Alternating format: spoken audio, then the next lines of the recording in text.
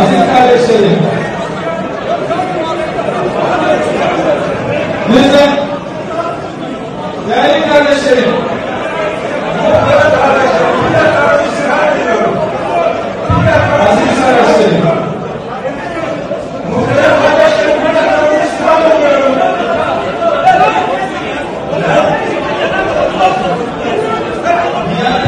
aziz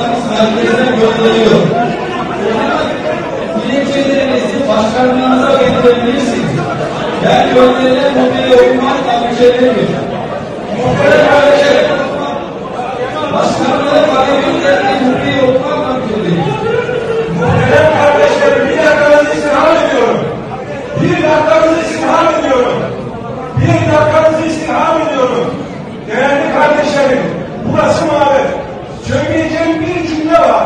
Hay hay memnuniyetle 30 Ağustos Zafer Bayramı ile ilgili bilgi istiyorsanız size en teferruatıyla veririz. Ancak biz Ağustos ayının önemini vurgu yaparak ben kendi dersimden özellikle diğer yani 30 Ağustos Zafer Bayramı'na kadar gelecek olan şehadet ve vatan sevgisiyle ilgili bilgi aktardım. Eğer siz bundan dolayı tepkili oluyorsanız size saygı duyuyoruz. Biz o neslin, o neslin evlatlarıyız biz. Büyük taarruzlara vatanın